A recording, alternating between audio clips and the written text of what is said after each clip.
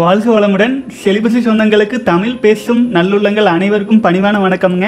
அன்பு சகோதரர்களே இன்னைக்கு வந்து பார்த்தீங்கன்னா தமிழ் புத்தாண்டு பிளவ வருடம் பிறப்பு அப்புறம் வந்து ஒரு ஒரு சகோதரர்களும் வந்து பார்த்தீங்கன்னா பா வாழ்த்துக்கள் சொல்லியிருந்தீங்க. அனைவருக்கும் ரொம்ப ரொம்ப நன்றி. அப்புறம் நம்முடைய பிரம்மச்சரிய பயணத்திலேங்க பல சகோதரர்கள் தொடர்ந்து மன உறுதியோடு வந்துட்டு இருக்கீங்க அனைவருக்குமே நன்றி சொல்லிக்கிறேன். இந்த புத்தாண்டானது நம் தமிழ் புத்தாண்டு ஒரு ஒரு சகோதரர்களுக்கும் இன்று முதல் நாளுங்க. இன்றைய தினத்தை நோட் பண்ணி வச்சுக்கோங்க. புதிதாக துவங்கும் சகோதரர்கள் அல்லது ஒரு பத்து நாளுக்குள்ள இருக்கிற சகோதரர்களுக்கு இந்த தமிழ் புத்தாண்டு அப்படிங்கிறது நல்ல ஆண்டா பிரம்மச்சரிய ஆண்டா வலிமை மிக்க ஆண்டா அனைவருக்கும் அமையட்டும். மேலும் பல சகோதரர்களுக்கு இந்த பெண்டமிக் போன்ற ஒரு ஊழியான காலத்தில் நம்ம வாழ்ந்துட்டு இருக்கிறோம். பொருளாதார அளவிலும் சமூக அளவிலும் இது எல்லாமே சரியாகி ஒரு சிறப்பான ஆண்டாக வரணும். அனைவருக்கும் ஒரு மகிழ்ச்சியான வாழ்க்கை கொடுக்கணும்னு மனசார இறைவனை வேண்டிக்கிறேனுங்க. அப்புறம் சகோதரர்கள் எப்போதும் போல நிறைய கேள்வி பதில் கேட்டிருக்கீங்க. அதுவும் பார்த்துடலாம் அப்புறம் ஒரு சின்ன ரெக்வஸ்ட்டும் கொடுத்துட்றேங்க கீழே கமெண்ட்ஸில் பயிற்சிகளில் சேர்ந்தவங்க இல்லை புதுசாக சேர்றவங்களுக்கு தெரியாது இல்லைங்களா? அதுக்காக சொல்லிடுறேன். பயிற்சி தொடர்பாக எந்த விஷயமாக இருந்தாலும் செலிபசி இன்னட் ஜிமெயில் டாட் காமில் மட்டும் தொடர்பு கொள்ளுங்கள் ஏன்னா பலரும் வந்து இந்த வாட்ஸ்அப் குரூப்பில் டெலிகிராம் குரூப்பில் சேர்றாங்க. மற்ற மற்ற ஸ்டூடெண்ட்ஸை போய் டிஸ்டர்ப் பண்ணுறாங்க எப்படி சேர்றது என்ன எதுன்ட்டு இதை இமெயிலில் தொடர்பு கொள்ளுங்க. நான் தினம் தினம் வந்து வீடியோ போடுறேன் இல்லைங்களா? உங்களுக்காக தானே போட்டிருக்கேன். பயிற்சி தொடர்பாக மெயிலில் தொடர்பு கொண்டா தான் நீங்கள் எந்த இமெயில் ஐடியிலிருந்து பயிற்சியில் இணைஞ்சிருக்கீங்க? நீங்கள் என்ன வகுப்பில் இருக்கீங்க? உங்களோட ஸ்டேட்டஸ் என்ன? எல்லாமே என்னால் ஜட்ஜ் பண்ணி உங்களுக்கு தகுந்த தீர்வுகளை என்னால் தர முடியும். யூடியூப் கமெண்ட்ஸில் வந்து போட்டிங்கனாலோ இல்லை டெலிகிராமில் எதில் போட்டிங்கனாலோ என்னால் உங்களை உங்களுக்கு எந்த சப்போர்ட்டுமே சரியாக தர முடியாது. ஆகவே இதை புரிஞ்சுக்கோங்க. இமெயிலில் தான் பயிற்சி தொடர்பாக தொடர்பு கொள்ளுங்கள் இன்னொரு விஷயம் பல மாடரேட்டர்ஸ் இருக்காங்க. நம்ம யூடியூப் கமெண்ட்ஸு தவறாக வந்தால் இது பண்ணுறக்கு அவங்ககிட்டயும் நான் கேட்டுக்கிறேன். பயிற்சி தொடர்பாக யார் எந்த கமெண்ட்ஸ் போட்டாலும் அதை ரிமூவ் பண்ணிடுங்க அப்புறம் வந்து பார்த்தீங்க அப்படின்னா இமெயிலில் தொடர்பு கொள்ள சொல்லிடுங்க அவ்வளோதான் வாழ்க வளமுடன். இன்றைக்கி வந்து கேள்வி பதிலுக்குள்ளே போயிடலாங்க ஹாய் அண்ணன் சம்டைம்ஸ் ட்ரெஸ்ஸு நார்மலாக போட்டிருக்கிற ஒரு பொண்ணை பார்த்தாலும் இல்லைன்னா மனசில் சும்மா நினச்சாலும் காமம் பயங்கரமாக வரும். காமம் வேணாம்னு நினைப்பேன். பட் ரொம்ப அதிகமாக தப்பான தாட்ஸ் வரும். சம்டைம்ஸ் தப்பான பிக்சர்ஸ் பார்த்தாலும் காமம் வா வர்றதை வ வர்றதில்லை அண்ணா. சம்டைம்ஸ் இதுக்கு பதில் சொல்லுங்க அண்ணா. எப்போவுமே தப்பான தாட்ஸ் வராமல் இருக்கிறதுக்கு விதை அடித்தா தான் இதுக்கு ஒரு முடிவு கிடைக்குமா? வாழ்க வளமுடன். விதை அடிப்பாங்க. ஆடு மாடுகளுக்கு நல்ல வளர்ச்சி வரணும். நல்ல ஜைஜான்டிக்காக இருக்கணும். இப்போ வண்டி வண்டி மாடுகள்லாம் இப்போ இல்லை. அது போன்ற வண்டி மாடுகளுக்கெல்லாம் விதை அடித்து விட்டு அப்போ தான் நிறைய நல்ல வெயிட் இழுக்கும் வலிமையோடு இருக்கும் கொஞ்சம் சாப்பிட்டு நிறையா வேலை செய்யும். எதுக்காக? தன் உயிரணுக்களே அது விரயம் செய்கிறதுக்கான வாய்ப்பை அழித்து விடும்போது. ஆச்சுங்களா? பிரம்மச்சரியத்தில் இருக்கும் சகோதரர்கள் பல சாதனைகள் புரிய முடியும். பல்வேறு விதங்களில் வெற்றி அடைய முடியும். அதுக்காகத்தான் வந்து பார்த்தீங்கன்னா நம்முடைய சித்தர்கள் வந்து பார்த்தீங்கன்னா விந்துஜெயம் போன்ற பயிற்சிகளை நமக்காக கொடுத்துருக்காங்க.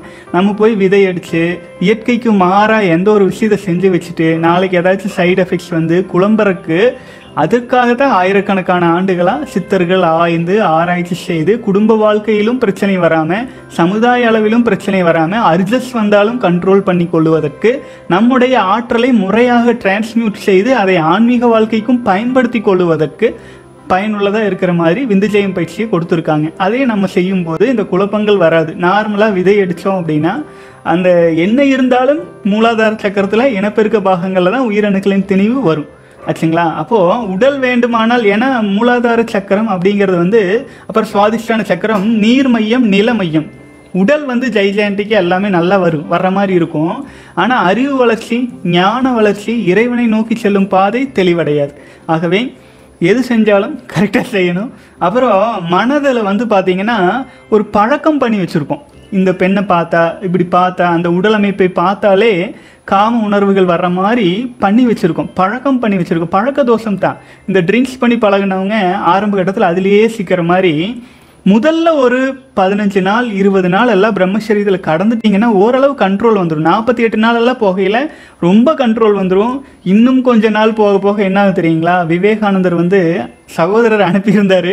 சரியான நேரத்தில் சொல்லணும்னு வெயிட் பண்ணிகிட்டு இருந்தேன். விவேகானந்தர் யூஎஸில் பயணம் செஞ்சுட்டு இருக்கும்போது அவருடைய ஸ்பீச்சஸ் எல்லாம் பார்த்துட்டு ஆனால் அவர் தூய பிரம்மச்சாரி. பிரம்மச்சரியத்துக்கு விவேகானந்தர் one of the top Indian saint சமீப காலத்தில் நிறைய விஷயங்கள் சொல்லியிருக்காரு. அப்போது அவர் வந்து பார்த்தீங்க அப்படின்னா அவருடைய இவ்வளோ அழகான பேச்சு அமெரிக்க மக்களையே வசீகரம் செய்கிற அந்த சக்தி அதையெல்லாம் பார்த்துட்டு ஒரு பெண் வந்து எனக்கு உங்கள் மூலமாக ஒரு குழந்தை கொடுங்க. உங்கள் மூலமாக பிறக்கும் அந்த குழந்தையானது மிக வலிமையோடு இந்த தேசத்து குழந்தையா வளரும். எனக்கு அதுக்கு ஒரு வாய்ப்பு கொடுங்கன்ட்டு விவேகானந்தர் கிட்ட நெருங்கி வந்து அந்த பெண் கேட்குறாங்க அதுக்கு வந்து விவேகானந்தர் அந்த பெண்ணை பார்த்துட்டு சொல்கிறாரு அம்மா நீ சொல்கிறது எல்லாமே சரி. ஆனால் என்ன முக்கியமான காரணத்துக்காக நீ இந்த குழந்தையை கேட்குற அப்படின்னு திரும்பவும் கேட்குறாரு அதுக்கு அந்த பெண் சொல்கிறாங்க எனக்கு உங்களை மாதிரியே தேஜஸோட உங்களை மாதிரியே ஞானத்தோட ஒரு குழந்தை பிறந்து வந்தால் நல்லாயிருக்கும் அப்படின்னு நினைக்கிறேன்னு சொன்னதுக்கு விவேகானந்தர் சொல்கிறாரு அப்படித்தானம்மா இனி ஒரு குழந்தை பிறந்து அந்த குழந்தையை இருபது வருடம் வளரும்போது அது எந்த மனநிலையில் இருக்குன்னு நம்மளால் சொல்ல முடியாது. அதற்கு பதிலாக எனவே உங்கள் மகனாக ஏற்றுக்கொள்ளுங்கள் தாயே அப்படின்ட்டு வணங்கினாருங்களாமா. இவ்வளோதான் வாழ்க்கை. அவர் பிரம்மச்சரியத்தில் நாட்கள் செல்ல செல்ல செல்ல என்ன ஆகும்னா பெண்களை காம உணர்வோடு காம பொருளாக பார்க்கறதுக்கு பதிலாக அன்னையாக அப்படின்னு வார்த்தையில் சொல்கிறதுக்கு பதிலாக உண்மையாகவே அன்னையாக பார்க்கும் சக்தியும் பக்குவமும் கிடைக்க ஆரம்பிச்சிருங்க ஆரம்ப கட்டத்தில் ஆரம்ப கட்டத்தில் வந்து பார்த்தீங்கன்னா அந்த இனப்பெருக்க அர்ஜஸ்ட்டு ப்ளஸ் நம்முடைய மூலாதார சக்கரத்திலேயே ஆற்றல் திணிவு பெற்றிருக்கிறதுனால அந்த உந்துதல் இருந்துட்டு தான் இருக்கும். அதுதான் அதற்காகத்தான் ஒரு பதிமூன்று நாள் கடந்து விந்துஜெயம் பயிற்சியை ஆழ்ந்து செய்ய துவங்கணும்னு சொல்கிறது வாழ்க வளமுடன். அடுத்தது ஐயா வணக்கம். எனக்கு பதினேழு முப்பத்தி ஏழு வயது ஆகிறது. பல முயற்சிகள் எடுத்தும் திருமணம் இன்னும் நடக்கவில்லை. என்னுடைய வாழ்க்கையை எப்படி அமைத்துக் கொள்வது? பிரம்மச்சரியத்தை நோக்கியா? இல்லை திருமணத்தை நோக்கியா? ஒரு வழி சொல்லுங்கள். வாழ்க வளமுடன். முப்பத்தி ஏழு வயது ஆயிடுச்சுன்னு வைங்களேன் நமக்கு ஒரு நீங்கள் வந்து பிரம்மச்சரிய வாழ்க்கையில் எவ்வளோ தூரம் ஸ்ட்ராங்காக இருக்கீங்கன்னு தெரியல. ஒருவேளை ஒரு வருடம் இரண்டு வருடம் ஆயினும் முழுமையான பிரம்மச்சரியத்தில் நீங்கள் இருந்திருந்தீங்கன்னா இதன் அருமை உங்களுக்கு தெரிஞ்சிருந்தா நீங்கள் சிவத்தையே உணர்ந்திருப்பீங்க. உங்களுக்கு வந்து பெரிதாக அந்த திருமண வாழ்க்கைக்குள்ளே போகணுங்கிற அந்த அதாவது யாரேனும் ஒரு ஒருத்தர் மேலே நம்முடைய ஒட்டுமொத்த ஆற்றலையும் சார்புபடுத்தி இருக்கணுங்கிற கட்டாயம் இருக்காது. ஆச்சுங்களா? அப்போது நீங்கள் என்ன பண்ணலாம்? பிரம்மச்சரியத்திலேயே இருக்கலாம். அதே உங்களுக்கு முப்பத்தி ஏழு வயது ஆனாலுமே கட்டாயம் திருமணம் செஞ்சுக்கணும். உங்களால் வந்து இது எப்படி சொல்லலான்னா மன அளவில் சுயமாக உங்களுடைய சுயத்தோடே வாழ்வதற்கு கஷ்டமாக இருக்கு. ஏதேனும் ஒரு துணை இருந்தால் தான் வாழ்க்கை எடுத்துகிட்டு போக முடியுங்கிற மாதிரியே தோணிட்டு இருந்தால் கூட இருக்கலாம் இல்லைங்களா? அப்போ நீங்கள் என்ன பண்ணலாம்? மன உறுதியோடு ஒரு நாற்பத்தி எட்டு நாள் பிரம்மச்சரியத்தில் ஸ்ட்ராங்காக இருங்க. அதன் பிறகு ஆழ்ந்து யோசனை செய்யுங்க. நீங்கள் இந்த முப்பத்தி ஏழு வயசுக்குள்ளே பல பெண்களை பார்த்துருப்பீங்க பலரிடம் பேசியிருப்பீங்க.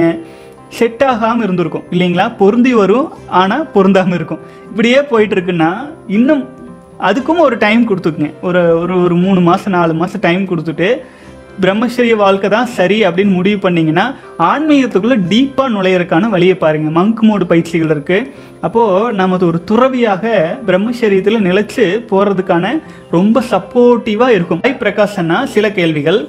மாதவிடாய் பெண்கள் அருகில் செல்லும்போது நம் உயிராற்றல் போய்விடும் என்று சொன்னீர்கள்.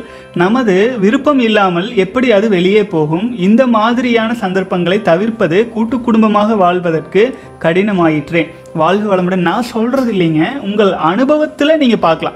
புரிஞ்சுதுங்களா? உங்கள் அனுபவத்தில் உங்கள் ஆற்றல் குறையிறத நீங்கள் ஃபீல் பண்ண முடியுதான்னு பாருங்கள் ஏன்னா இப்போ நாம் ஒரு அனுபவத்தில் சொல்கிற விஷயம் ஒரே சைஸ் எல்லாருக்கும் ஃபிட் ஆகுன்னு சொல்ல முடியாது. ஆனால் நான் மட்டும் இதை சொல்லலை. சித்தர்கள்லேருந்து யோ வேதாத்ரி மகரிஷி குருதேவர்லேருந்து பலரும் இதை சொல்லியிருக்காங்க. நானும் பல முறை அனுபவிச்சிருக்கிறேங்க.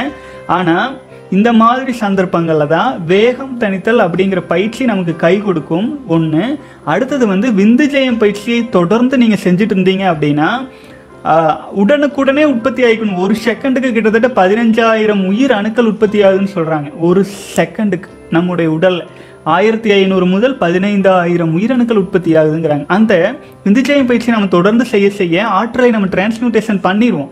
அப்போது இது போன்ற இடங்களுக்குள்ளே நம்ம போகும்போது மீதம் இருக்கும் டிரான்ஸ்மியூட்டேஷன் ஆகாது இருக்கும் எனர்ஜி தான் பெருமளவில் ஆற்றல் குறைவாக ஏற்படும்.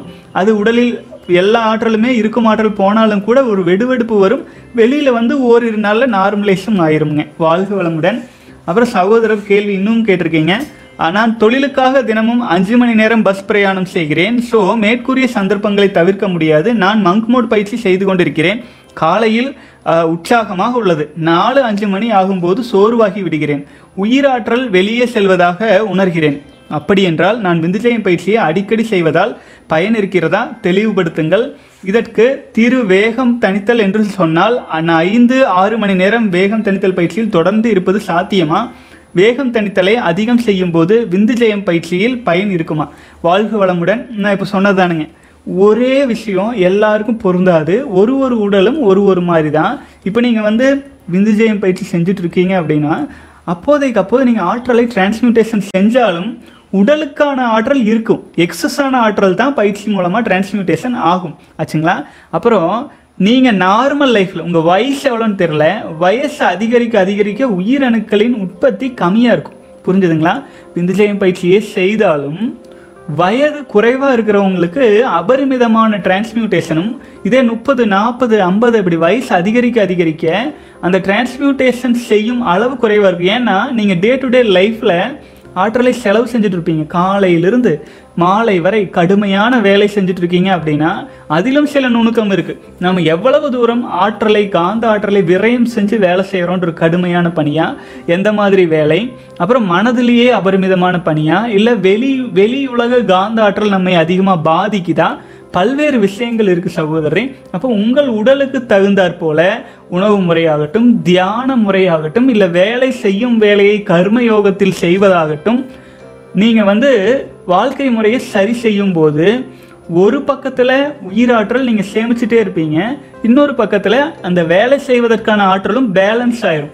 சித்தர்கள்லாம் பார்த்தீங்கன்னா நேர தவத்தில் தான் இருப்பாங்க. எப்போதுமே டிரான்ஸ்மியூட்டேஷனில் ஏன்னா அவங்க பிறப்பு தன்னை உணர்ந்து இறைவனை நோக்கி போகிறதா வாழ்க்கைன்னே உணர்ந்துட்டாங்க. ஆனால் நம்ம அப்படியா? காலையிலிருந்து இரவு வரை வேலை செஞ்சே தான் ஆகணும். வேலை வேலை வேலை வேலை. ஒரு ஆடு மாடு கூட யோசிச்சு பாருங்க. சாப்பாட்டுக்களவாக தான் அது போகுது. அது வேலையெல்லாம் செய்கிறதில்ல போகுது மேயுது படுக்குது தூங்குது எந்திரிக்குது. எல்லா உயிரினமும் அப்படித்தான். ஆனால் மனுஷன் மட்டும்தான் தேவையற்ற விஷயங்களை எல்லாம் தேவையாக்கி காலையிலிருந்து பதினெட்டு மணி நேரம் என்னத்துக்காக வேலை செய்கிறானே தெரில ஒரு ஸ்லேவ்ஸ் மாதிரி ஓடிட்டு இருக்கோம் அப்போ அதுக்கு ஆற்றல் தேவைப்படுங்களா?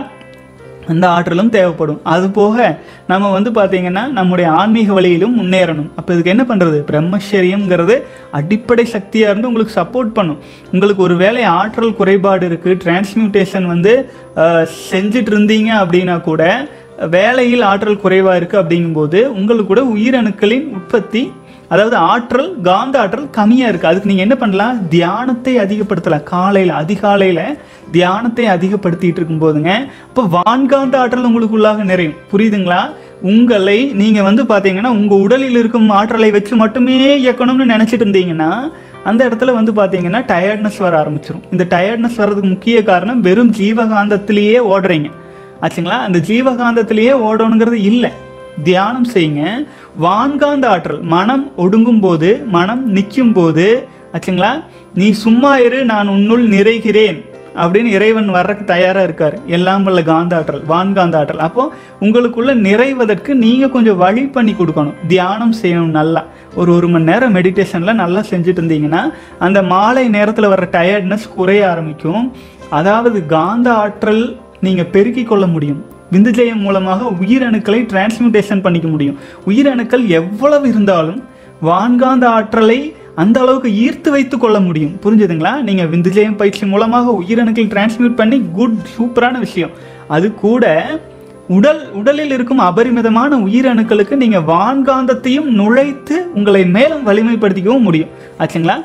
ஸோ பிரச்சனைகள் கண்ணு கட்டிய தூரம் வரை இருக்கு. வாழ்க்கை பிரச்சனைகள். அதே சமயத்தில் எல்லாம் உள்ள இரையாற்றல் நமக்கு கொடுக்கறக்கும் தயாராக இருக்கு. நம்மளை நம்ம தகுதிப்படுத்திக்கணும். அவ்வளோதானுங்க அதுக்கு ஒரு ஒருவரின் வாழ்க்கை. இப்போ நான் சொல்கிறது எத்தனை பேருக்கு எந்தெந்த விதத்தில் புரியுதுன்னு எனக்கு தெரியல. ஆனால் உங்களுக்கு உங்கள் வாழ்க்கைக்கு தகுந்தாற் போல் அதை பயன்படுத்தி கொள்ளும் வழிமுறையை நீங்கள் வகுத்து கொள்ள வேண்டும். ஒரு சைஸ் எல்லாருக்கும் ஃபிட் ஆகாது. ஆனால் உங்களுக்கு தகுந்தாற் போல் ஃபிட் பண்ணிக்கொள்ளவும் முடியும். ஆச்சுங்களா? வாழ்க வளமுடன். அடுத்தது வந்து பார்த்தீங்கன்னா அண்ணா காந்த ஆற்றல் என்றால் என்ன? காந்த ஆற்றலினால் பயன் என்ன? இப்போ தான் நான் சொன்னேங்க. காந்த ஆற்றல்னால் பேசிக்காக நாம் வந்து பார்த்திங்கன்னா நம் உடலில் உயிரணுக்கள் ஒவ்வொரு செகண்டும் உற்பத்தி ஆகிட்டே இருக்கு. நம்ம ஒரு மாமரம் இருக்குது மாமரத்தில் அதனுடைய எண்டு ரிசல்ட்டாக என்ன வரும் தெரியுங்களா? அதனுடைய பழங்கள் வரும். ஆச்சுங்களா? பழங்கள் அந்த ஒரு பழத்துக்குள்ளாக விதை இருக்கும். அந்த விதைக்குள்ளாக மாமரத்தின் அடுத்த வாரிசு இருக்கும். புரிஞ்சுதுங்களா? அதுபோல நம்முடைய உடலில் ஒரு ஆண் மகனின் உடலில் எண்டு ரிசல்ட்டாக வர்றது என்ன? உயிரணுக்கள் நம்முடைய ஸ்பேம்ஸ் ஆச்சுங்களா? அது அபரிமிதமாக நம்ம உண்ணும் உணவு மூலமாகவும் பஞ்ச பூதங்கள் மூலமாகவும் வான் காந்தத்தின் மூலமாகவும் எல்லாம் சேர்ந்து தான் அந்த உயிரன் உற்பத்தி ஆகுது வெறும் சாப்பாட்டில் மட்டும் கிடையாது. ஒரு சகோதரர் கேட்டால் தோசை சாப்பிட்டு எத்தனை உற்பத்தி ஆகும்? அப்படியெல்லாம் குருட்டுத்தனமாக இல்லை. எல்லா ஆற்றலும் இணைந்து பஞ்சபூதங்களும் இணைஞ்சு தான் ஒரு உயிரணு உற்பத்தி ஆகுது அப்போது நம்ம வந்து பார்த்தீங்கன்னா உயிரணுக்கள் உற்பத்தியாகும். உயிரணுக்கள் வந்து சும்மா இருக்காது. எந்த ஒரு அணுவும் தன்னைத்தானே சுழன்று கொண்டே இருக்கும் ஒரு ஃபேன் சுற்றிக்கிட்டே இருக்கு. என்ன ஆகும்? அதுலேருந்து காற்று வருது. அதுபோல் நம்ம இரண்டு கைகளுக்கு இடையில வச்சு பாருங்க ஒரு காந்த ஆற்றல் இருக்கிறத நம்மளால உணர முடியும். ஆச்சுங்களா? இது காந்த ஆற்றல். இந்த காந்த ஆற்றல் உடல் முழுவதும் இருக்கு. உயிரணுக்களின் அளவுக்கு தகுந்தாற் போல அது தன்னைத்தானே சுழன்று கொண்டு இருப்பதனால் ஜீவகாந்தம் நம்ம உடல்ல உற்பத்தி ஆகிட்டு இருக்கு. இந்த ஜீவகாந்தம் என்ன பண்ணும் அப்படின்னு கேட்டிங்கன்னா முதல்ல வந்து அது வந்து மனமாக உணர்வுகளாக வெளிப்பட துவங்கும். உணர்வுகளாக மனமாக வெளியில் வரும் பொழுது அது நம் உடலில் இருக்கும் அனைத்து பாகங்கள் வழியாக காந்தமாக வெளிப்படுது. அது கண் மூலமாக வெளிப்படும் போது பார்வையாகவும் காது மூலமாக கேட்கும் திறனாகவும் சுவாசிக்கும் போது சாப்பிடும் போது அனைத்து உணர்வாகவும் அந்த காந்த ஆற்றல் வெளிப்பட்டு வெளியில் வர இல்லைங்க சூட்சும உடல் முதல் கொண்டு அதன் வெளிப்பாடு இருக்கும் அதன் சக்தி இருக்கும். அப்படி வெளிப்பட்டு வரும்போது உடலை தாண்டி வெளியில் வர வர வர வர அது சூட்சும தேக விரிவுன்னு சொல்லுவோம். காந்த உடலை சூட்சும உடல்னும் சொல்லலாம். அது நமக்கு தெரியாது கண்ணுக்கு ஆனால் இருக்கு. அப்போ இந்த காந்த ஆற்றல் ஜீவனில் உற்பத்தியாகி கொண்டு இருக்கும் ஆற்றல் ஜீவகாந்தம்னு சொல்லுவோம். இந்த ஆற்றல் நம் உடலில் இருக்கும் உயிரணுக்களின் அளவையும் தரத்தையும் பொறுத்து தான் அந்த வலிமையை கொடுக்கும். நம் உடலில் அபரிமிதமான உயிரணுக்கள் இருக்கும்போது மனம் இயங்காத சமயத்தில் வான்காந்த ஆற்றலும் நிறைய ஆரம்பிக்கும். மிகவும் வலிமை மிக்க மனிதராக மாறவும் முடியுங்க ஸோ நம்ம எந்த ஒரு செயல் செஞ்சாலும் நம்ம மட்டும் செய்கிறதில்ல நாம் ஒரு இடத்துக்கு போய் ஒரு காரியம் ஆற்றணும்னா ஒருத்தர்கிட்ட இருந்து ஒரு விஷயத்தை வாங்கணும்னா நம்முடைய ஆற்றல் அவங்ககிட்ட போய் வருது இல்லைங்களா? அதுக்கு அவங்க பாசிட்டிவ் ரெஸ்பான்ஸ் தரணும்.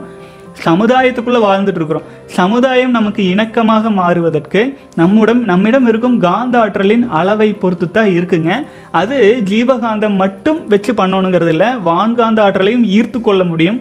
அதற்கு தியானமும் தவ முறைகளும் ஏன் நம்ம பண்ணிட்டு இருக்கிற யோக பயிற்சி உடல் பயிற்சிகள் கூட உதவும். ஏன்னா எந்த வேலை செஞ்சாலும் அங்கே மனம் இயங்காது இருக்கிற சமயத்தில் எண்ணங்கள் நமக்குள்ளாக மட்டுமே இருக்கும் சமயத்தில் வான்காந்த ஆற்றல் நமக்குள் நுழைந்து நம்மை வலிமைப்படுத்த ஆரம்பிக்குங்க வாழ்க வளமுடன் சகோதரன் காந்தத்தை பற்றியும் உயிரணுக்களை பற்றியும் எல்லா சேனல்லையும் எல் அதாவது எல்லா வீடியோஸையும் நம்ம சொல்லிகிட்டே இருக்கோம். கொஞ்சம் எல்லாம் ஸ்க்ரோல் அப் பண்ணி பாருங்கள் நிறைய ஐடியாஸ் கிடைக்கும். வாழ்க வளமுடன். அடுத்தது வந்து கிருத்தி கேசன் தயாளன் சகோதரர். ஆனால் தற்போது சமுதாயத்தில் நாற்பது வயதுக்கு மேல் உள்ள ஆண்கள் பதின்ம வயது பெண்களை தவறான கண்ணோட்டத்தில் பார்க்கின்றனர். இது உண்மையா? இது போன்ற சம்பவங்கள் நிறைய நடக்கின்றன அண்ணா. அவர்களுக்கு எப்படிப்பட்ட தண்டனை கொடுக்க வேண்டும் சொல்லுங்கள்.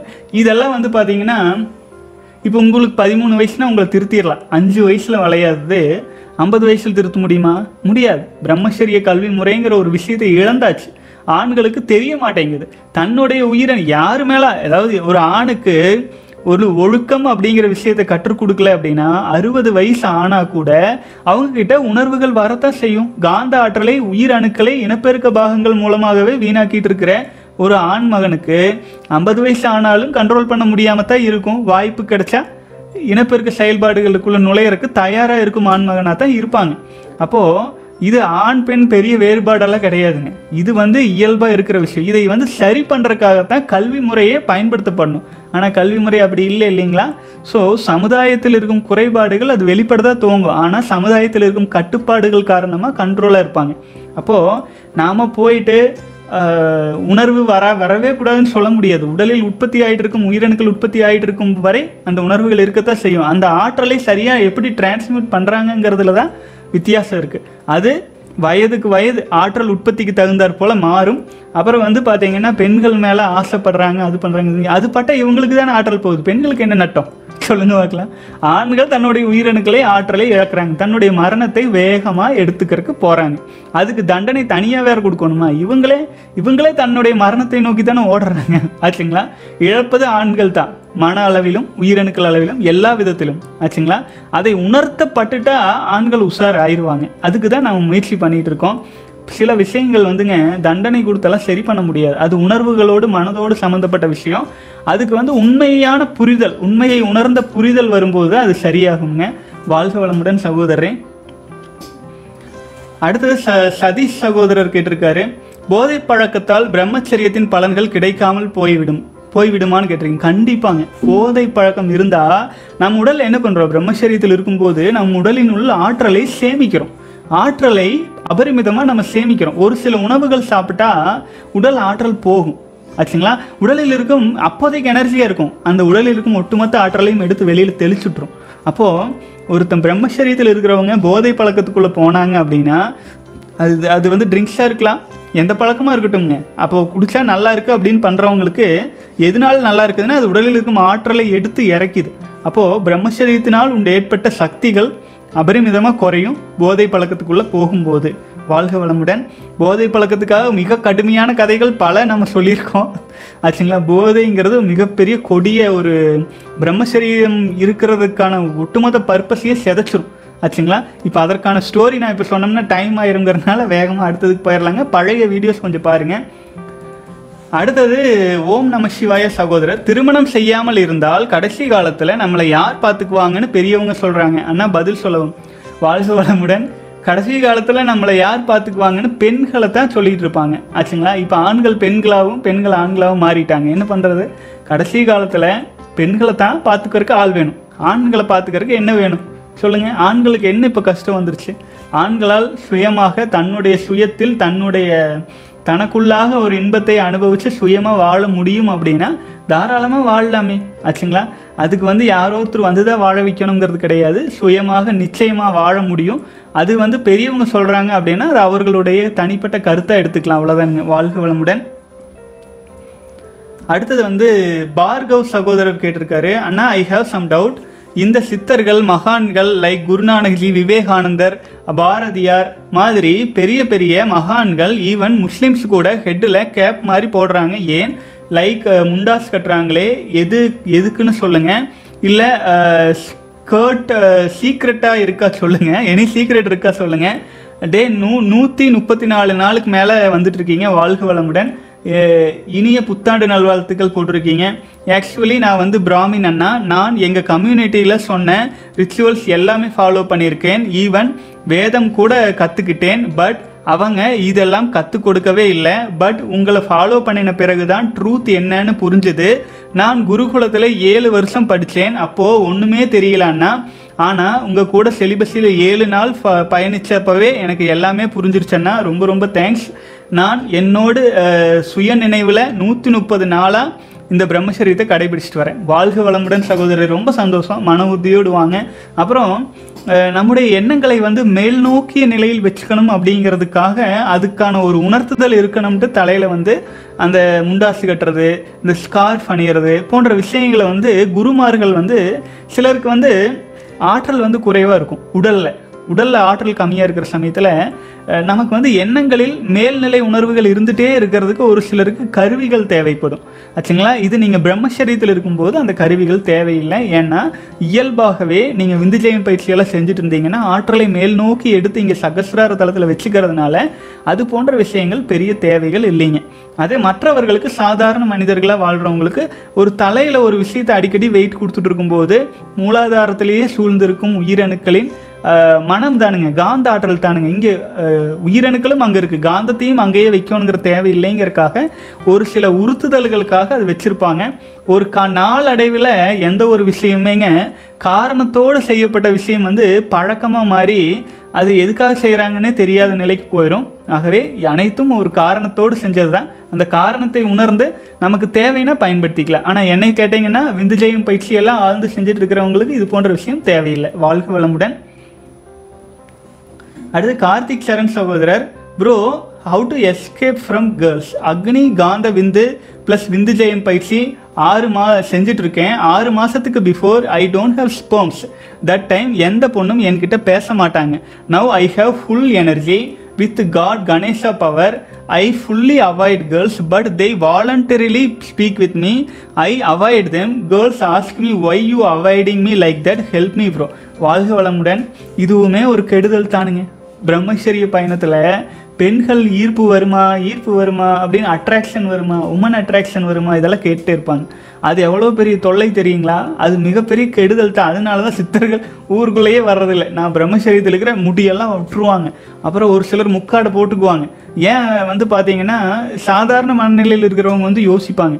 என்னடா அது? இந்த ஆள் என்ன அவ்வளோ பேர் என்ன இவர் மேலே என்ன ஈர்ப்பாக சுற்றுறாங்க ஆண்களுக்கு தெரியாது. ஆனால் பெண்கள்னால அதை சென்ஸ் பண்ணிக்க முடியும்.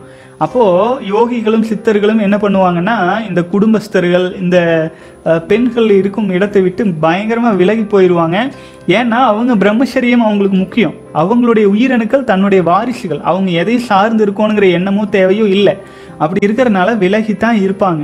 அப்போது பெண்களோடு பழகவோ பேசவோ வரும் சூழ்நிலை வந்தாலே அந்த பழைய சமஸ்காரங்கள் எல்லாமே ஏன்னா நம்ம உடல் வந்து எதனால் உருவானது? இனப்பெருக்க செயல்பாடுகளால் உருவாகி வெளியில் வந்திருக்கு. அப்போது அந்த எண்ணங்கள் எல்லாம் மறுபடியும் வெளியில் வர ஆரம்பிக்கும். திரும்பவும் ட்ராப்பில் சிக்கிடுவோம் அப்படிங்கிறதுனால பல யோகிகள் ரொம்ப உஷாராக விலகியே இருந்தாங்க. திருமணமானால் மட்டுமே பெண்களோடு பேசி பழகும் வாய்ப்பை ஏற்படுத்தி கொண்டாங்க.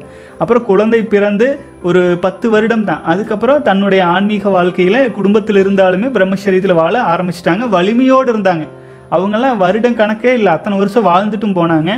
அதுபோல் இது போல் சூழல் வந்தால் நீங்கள் உஷாராக விலகி இருக்க வேண்டியது தானுங்க அதாவது உங்ககிட்ட பணம் நிறைய இருக்குன்னா திருடன் வரத்தான் செய்வான். ஆச்சுங்களா?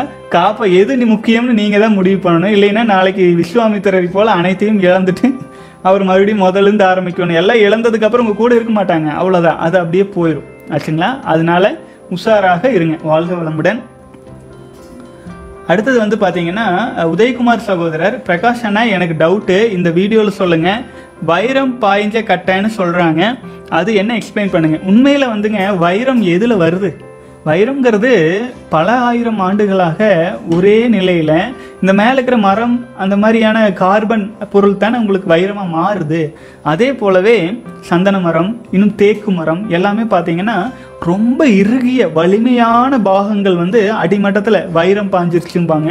அதாவது உடைக்கவே முடியாது அறுக்கவே முடியாதுங்கிற அளவுக்கு ஒரு வலிமையான அந்த எப்படி சொல்கிறதுங்க ரொம்ப வலிமை.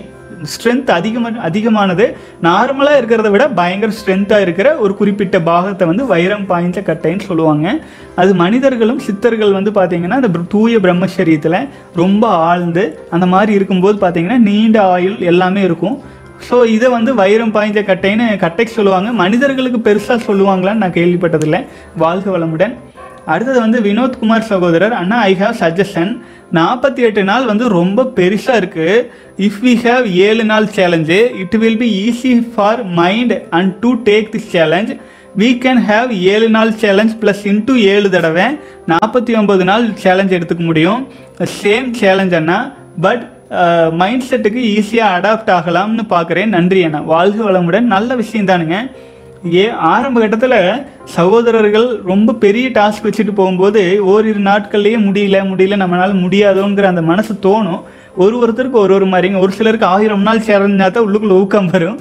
ஒரு சிலருக்கு வந்து பார்த்தீங்கன்னா கொஞ்சம் கொஞ்சமாக போகலாம் ஒரு மூணு நாள். அடுத்தது ஏழு நாள். அடுத்தது அது அதே மாதிரி போகலாம் தவறு இல்லைங்க. உங்களுக்கு எப்படி சரியாக வருதோ அந்த மாதிரி போகலாம் அப்புறம் சகோதரர் வந்து பார்த்தீங்கன்னா நம்ம அதனால தான் இந்த முறை சேலஞ்ச் வந்து தினம் தினம் ஒரு ஒரு நாளும் எப்படியாச்சும் கடந்துடணுங்கிற மாதிரி நம்ம சொல்லி கொண்டு வந்துச்சுங்க.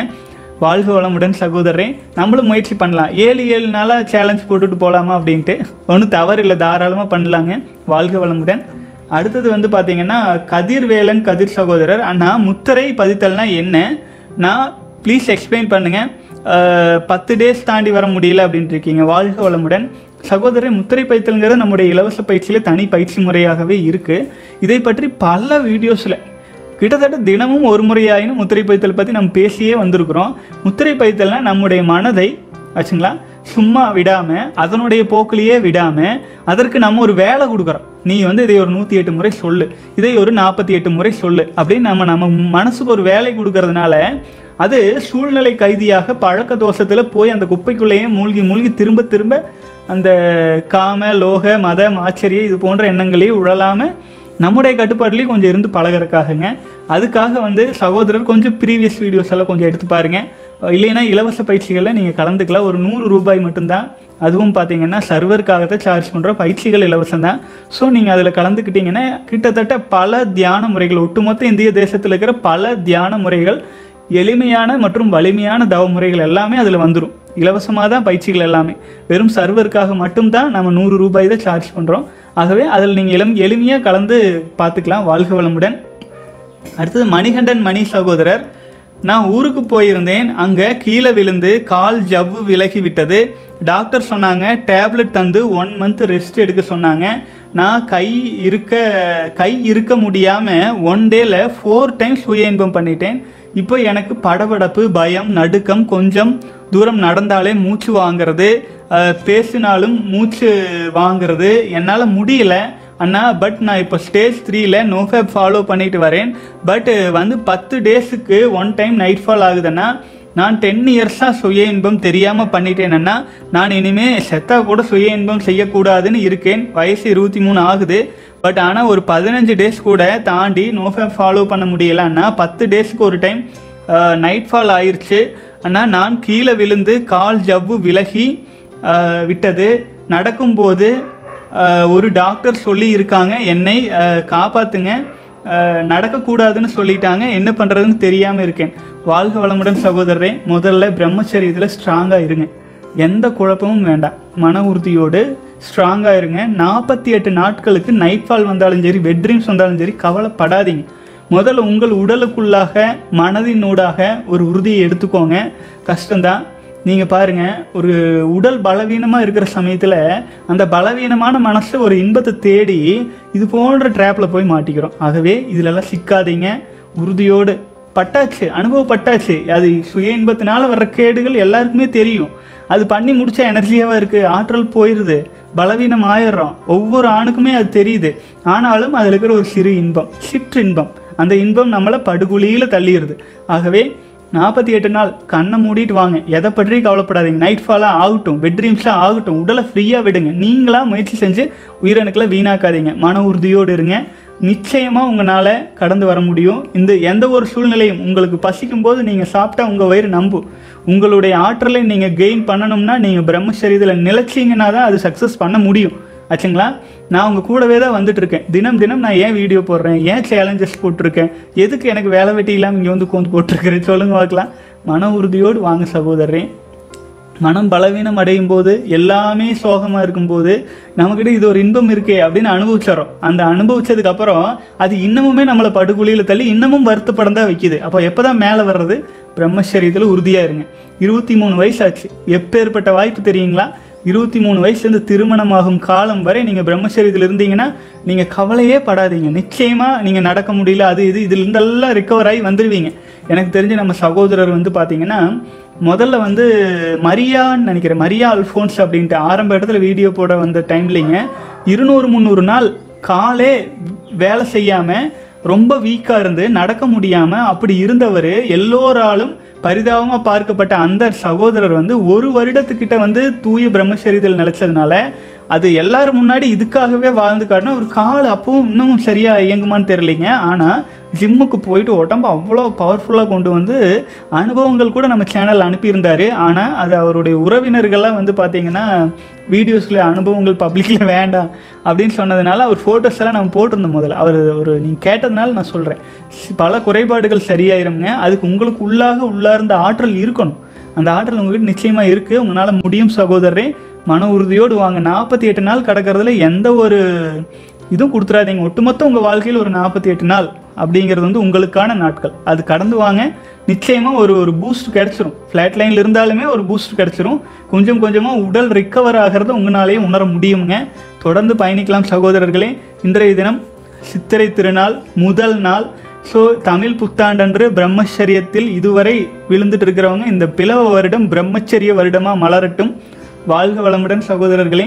அப்புறம் சகோதரர்கள்கிட்ட நான் ஒரு சில கேள்விகள் கேட்டிருந்தேன். ஏன்னா பிரம்மச்சரியத்திற்காக ஒரு புத்தகம் எழுதும்போது அல்லல்ல குறையாத சுரங்கங்களாட்டு இப்போ நம்ம வீடியோ போட்டே இருக்கோம். தினம் தினம் புது புது விஷயங்கள் எப்படியோ வந்துடுது இறையர்களால் நம்ம பேசிட்டும் இருக்கோம். கேள்விகளாகவும் வருது. அதே மாதிரியே புத்தகம் எழுத ஆரம்பிச்சா முடியாதாட்டு இருக்குதுங்க. போயிட்டே இருக்குது அது எத்தனை நாளைக்கு எழுதுறதுன்னு எனக்கே தெரியல. அப்போது சில சகோதரர்கள் வந்து ஐடியா சொன்னாங்க.